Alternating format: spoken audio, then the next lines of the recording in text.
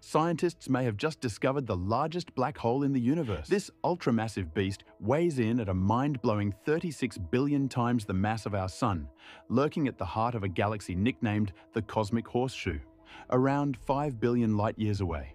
What makes it different?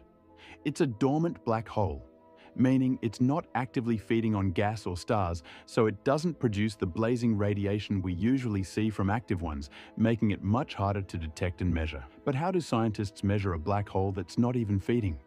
Scientists relied on two complementary, high-precision methods, gravitational lensing, where the black hole's immense gravity warps light into the striking Einstein horseshoe arc, and stellar kinematics, tracking stars near the galaxy's core racing at nearly 400 kilometers per second. And by combining the patterns of distorted light with the swift stellar motions, they were able to isolate and measure the black hole's mass at a staggering approximately 36 billion times that of the Sun.